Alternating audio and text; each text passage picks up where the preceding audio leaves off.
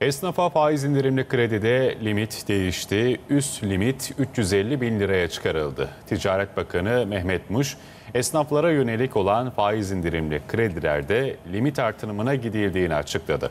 Bakan Muş, faiz indirimli esnaf kredi limitlerinin bakanlığın girişimleriyle 350 bin liraya çıktığını duyurdu. Mehmet Muş, sosyal medya hesabından yaptığı açıklamada esnafımıza hayırlı olsun ifadesini kullandı.